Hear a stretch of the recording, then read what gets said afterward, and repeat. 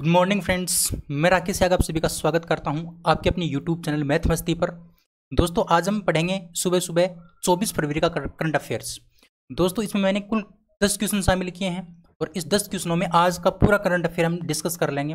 बहुत ही most important question मैं आपके लिए लेके आया हूँ और रोज़ाना आपको मिलेगा सुबह सुबह, है ना? ध्यान रखना दोस्तों, अच्छे से आपको पढ़ना है, इसका पीडीएफ भी आपको मिलेगा और पीडीएफ कहाँ मिलेगा इसकी जानकारी जल्द ही आपको दे दी जाएगी कल वाले वीडियो में। तो आज का वीडियो अच्छे से देखिए इन क्वेश्चनों का पीडीएफ आपको बता दिया जाएगा कहाँ मिलेगा, ठीक है? तो दोस्तों, उम्मीद करता हूँ आपको ये वीडियो बहुत पसंद आएगा, बहुत आपके लिए कामगार साबित होगा।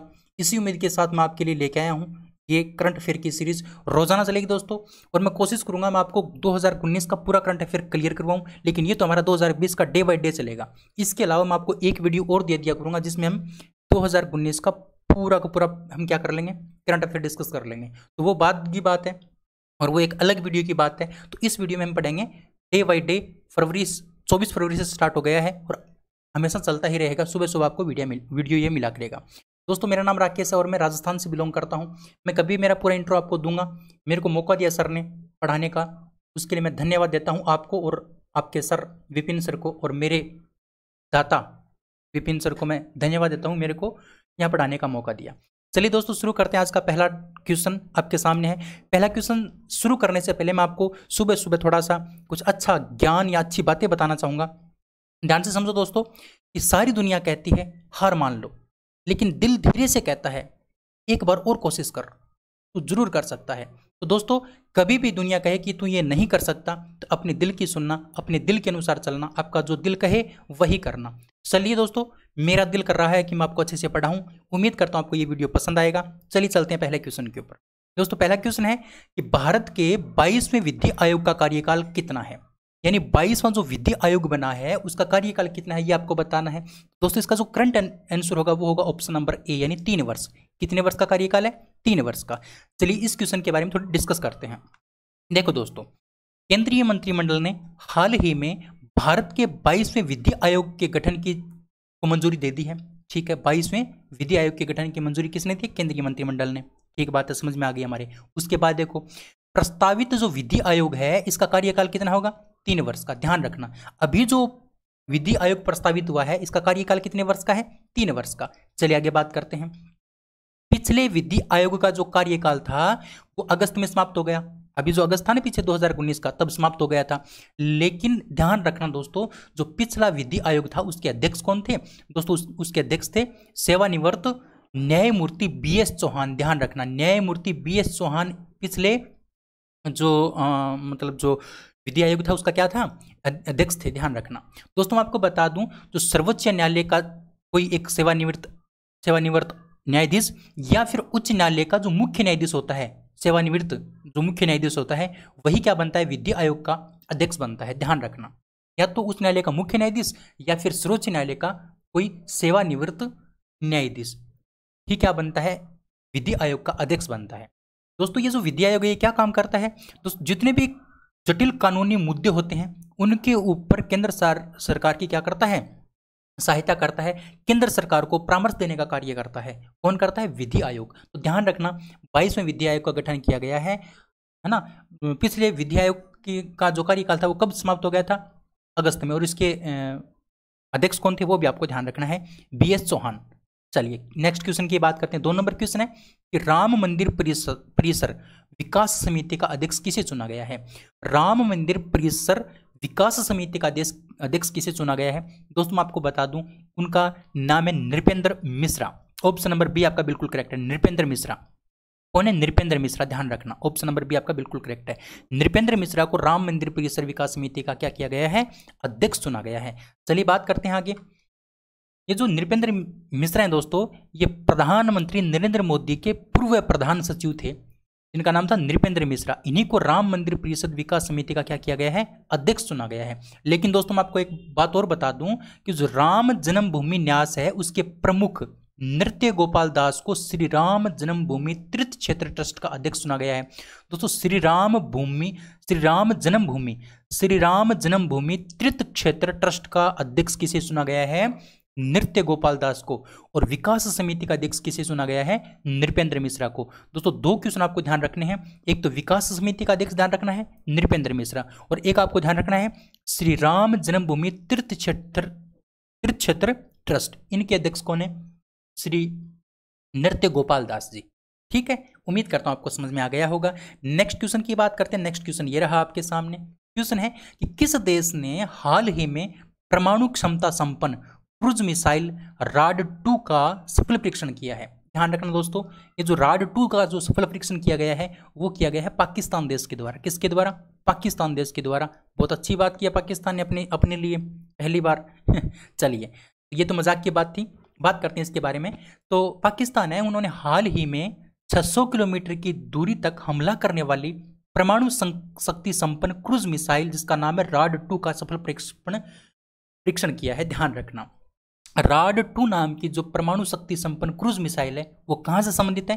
पाकिस्तान से संबंधित है। दोस्तों, ये 600 किलोमीटर की दूरी तक हमला कर सकती है। चलिए, नेक्स्ट क्वेश्चन की बात करते हैं। नेक्स्ट क्वेश्चन है कि किस देश के राष्ट्रपति के रूप में अशरफ गनी ने दूसरा कार्यकाल हासिल किया है? दोस्तों, जो अशरफ गनी है, वो कहाँ के राष्ट्रपति बने हैं दूसरी बार? अफ़गानिस्तान के। कहाँ के बने हैं? अफ़गानिस्तान के बने हैं। ऑप्शन नंबर डी आपका बिल्कुल करेक्ट है। कहाँ के बने? अफ़गानिस्तान के। ध्यान रखना। चलिए, बात करते हैं दोस्तों इसके बारे में, क्वेश्चन के बारे में। तो अशरफ गनी जी हैं, वो दूसरी बार अफ़गानिस्तान के राष्ट्रपति चुन लिए गए हैं। अफ़गानिस्तान का जो चुनाव आयोग है, उसके अनुसार अशरफ गनी ने बतौर राष्ट्रपति उम्मीदवार 50.64 प्रतिशत वोट हासिल किए थे। ध्यान रखना दोस्तों, और इसके जो विपक्ष में थे, जिनका नाम था अब्दुल्ला अब्दुल्ला, उन्होंने उनचालीस पॉइंट दो फ़ीसदी वोट ही हासिल किए थे। तो इस प्रकार से दूसरे, दूसरी बार अशरफ गनी जी क्या बन गए? अफ़गानिस्तान के राष्ट्रपति चुन लिए गए। चलिए, उम्मीद करता हूँ आपको समझ में आ गया होगा। नेक्स्ट क्वेश्चन की बात करते हैं। नेक्स्ट क्वेश्चन है कि हाल ही में किस पूर्व भारतीय क्रिकेटर को लोरियस स्पोर्टिंग मोमेंट अवार्ड दिया गया है? ध्यान रखना दोस्तों लोरियस स्पोर्टिंग मोमेंट अवार्ड जो दिया गया है, वो किसको दिया गया है? सचिन तेंदुलकर को। किसको? सचिन तेंदुलकर को। इसके बारे में बात करते हैं दोस्तों। चलिए, यह सम्मान सचिन तेंदुलकर तेंदुलकर को प्रशंसकों के वोटों के आधार पर मिला। दोस्तों, जो सचिन तेंदुलकर के जो प्रशंसक थे उन्होंने वोट किया था, उस वोटों के आधार पर इनको ये क्या मिला है? सम्मान मिला है। दोस्तों, इस पुरस्कार के लिए सचिन तेंदुलकर के साथ विश्व भर से 20 दावेदार नामित हुए थे। उन सभी को पछाड़ते हुए सचिन तेंदुलकर ने यह अवार्ड अपने नाम कर लिया। दोस्तों, मैं आपको बता दूँ, बर्लिन में पूर्व ऑस्ट्रेलियाई कप्तान जिनका नाम था स्टीवो इन्होंने सचिन तेंदुलकर को लोरियस स्पोर्टिंग मोमेंट अवार्ड 2000-2020 के विजेता बनने की घोषणा की। तो दोस्तों, किसने दिया? ऑस्ट्रेलिया के पूर्व कप्तान स्टीव वो ने कहा दिया? बर्लिन में दिया। ध्यान रखना। दोस्तों, मैं आपको बता दूँ, इस अवार्ड को पहली बार कब दिया गया था? 25 मई 2000 को दिया गया था। कहने का मतलब यह अवार्ड कब से स्टार्ट किया गया था? 25 मई 2000 से स्टार्ट किया गया था। ध्यान रखना दोस्तों। चलिए नेक्स्ट क्वेश्चन की बात करते हैं। नेक्स्ट नेक्स्ट क्वेश्चन है।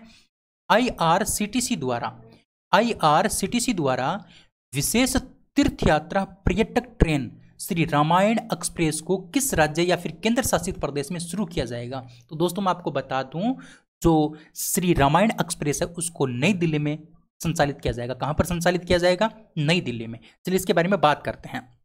दोस्तों, सबसे पहली बात आती है आईआरसीटीसी की फुल फॉर्म क्या है? दोस्तों आईआरसीटीसी की फुल फॉर्म है, Indian Railways, Catering and Tourism Corporation. ध्यान रखना ये इसकी फुल फॉर्म है आईआरसीटीसी की। क्या है? Indian Railways Catering and Tourism Corporation दोस्तों, मैं आपको बता दूँ, जो आईआरसीटीसी है, इन्होंने हाल ही में ये घोषणा की है कि भारतीय रेलवे एक विशेष तीर्थ यात्रा पर्यटक ट्रेन, जिसका नाम है श्री रामायण एक्सप्रेस को संचालित करने जा रही है।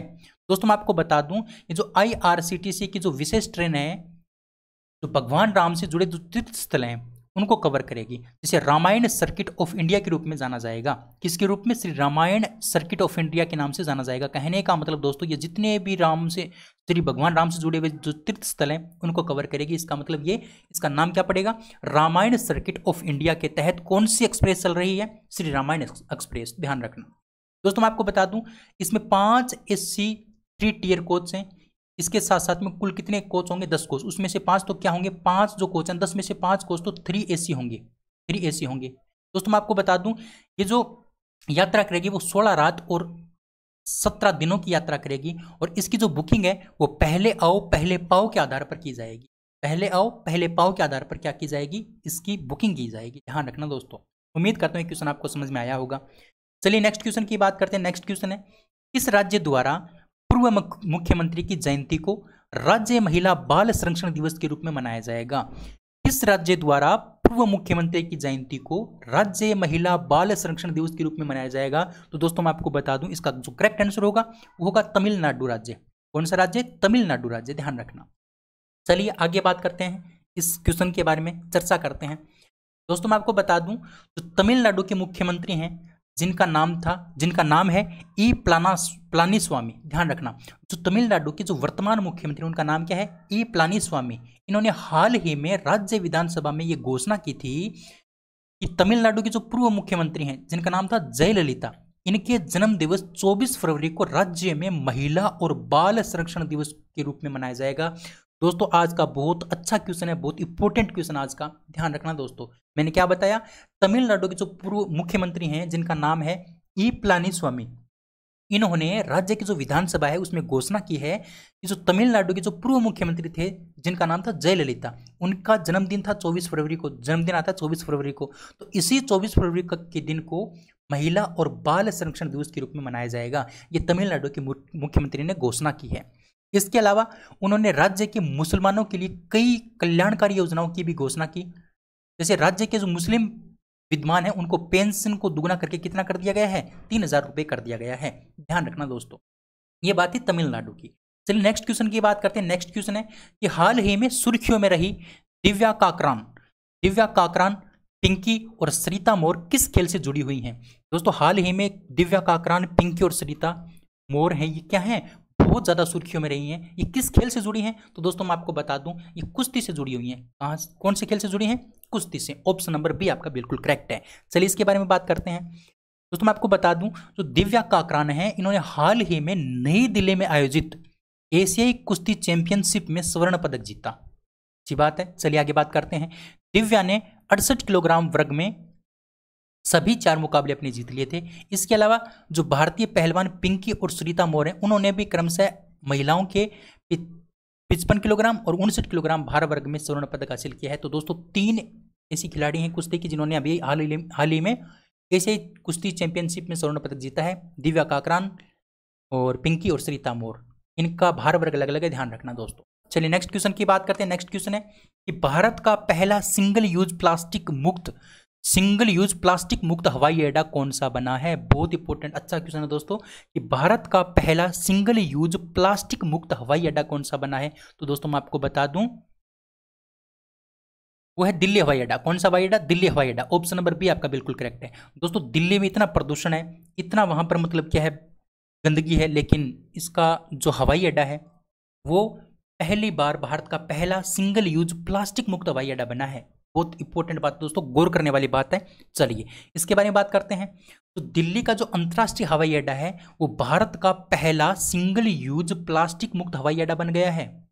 इस हवाई अड्डे ने 2018 जो पर्यावरण दिवस आया था, उसके बाद सिंगल यूज़ प्लास्टिक मुक्त बनने के लिए कार्य शुरू कर दिया था। दोस्तों, मैं आपको बता दूँ, जो दिल्ली अंतर्राष्ट्रीय हवाई अड्डा है, वो प्लास्टिक के स्थान पर जो इको फ्रेंडली जो विकल्प होते हैं, उनका इस्तेमाल करता है। इको फ्रेंडली का मतलब जो पर्यावरण के लिए लाभदायक होते हैं या पर्यावरण को क्या नहीं करते पर्यावरण को प्रदूषित नहीं करते, उन्हीं विकल्पों का इस्तेमाल किया जाता है दिल्ली अंतर्राष्ट्रीय हवाई अड्डे के ऊपर। चलो दोस्तों नेक्स्ट क्वेश्चन की बात करते हैं। नेक्स्ट क्वेश्चन आज का लास्ट क्वेश्चन राष्ट्रीय स्वास्थ्य मिशन के अनुसार, राष्ट्रीय स्वास्थ्य मिशन के अनुसार किस राज्य में नवजात शिशु मृत्यु दर में एक अप्रत्याशित वृद्धि दर्ज की गई है? तो दोस्तों, मैं आपको बता दूँ, जो राष्ट्रीय स्वास्थ्य मिशन है, उनके अनुसार जो मध्य प्रदेश राज्य है, मध्य प्रदेश राज्य उसमें नवजात शिशु मृत्यु दर है, वो क्या की गई है? उसके अंदर वृद्धि दर्ज की गई है। किसके अंदर? मध्य प्रदेश के अंदर। तो ऑप्शन नंबर आपका ए क्या हो जाएगा? बिल्कुल करेक्ट आंसर हो जाएगा। तो दोस्तों, ये थे आज के हमारे दस क्वेश्चन उम्मीद करता हूँ आपको ये याद हो गए होंगे। याद नहीं हुए हैं तो एक बार, दो बार वीडियो को और दिख लीजिए। दोस्तों, मैं आपको बता दूँ, इसका पीडीएफ भी आपको दे दिया करूँगा और पीडीएफ आपको कहाँ मिलेगा, वो मैं आपको जल्दी बता दूँगा। दोस्तों, आज का अगर वीडियो आपको पसंद आया है तो कमेंट कर दीजिए। इसके अलावा मैं आपको दोस्तों बता दूँ, अगर मेरे पढ़ाने में किसी भी प्रकार की आपको कोई तकलीफ़ लगी, मेरी बोलने में या किसी भी प्रकार को आपको थोड़ी कमी महसूस हुई हो तो आप मेरे को कमेंट करके बता सकते हैं। दोस्तों, मैं आप उसके ऊपर सुधार करने की कोशिश करूँगा और अच्छे से आपको मैं कंटेंट प्रोवाइड करवाऊँगा। रोज़ाना हमारी क्लास चलेगी। इसके अलावा दोस्तों, मैं आपको बता दूँ 2019 का जो पूरा करंट अफेयर है, वो भी मैं आपको करवाने वाला हूँ। टेंशन लेने की बिल्कुल भी आवश्यकता नहीं है। पूरा करंट अफेयर करवा दूँगा 2019 का और 2020 का साथ साथ हम चलते रहेंगे सुबह सुबह इसके अलावा दोस्तों, मैं आपको एनटीपीसी और ग्रुप डी की जो प्रीवियस ईयर क्वेश्चन है, उनके क्वेश्चनों की क्लास भी आपके लिए मैं लेके आऊँगा। दोस्तों, आज की इस वीडियो में इतना ही। उम्मीद करता हूँ आपको पसंद आया होगा। अगर आपको पसंद आया है तो वीडियो को लाइक कर दीजिए, चैनल को सब्सक्राइब करके बेल आइकन दबा लीजिए। दोस्तों, फिर मिलते हैं कल। तब तक के लिए जय हिंद, जय भारत।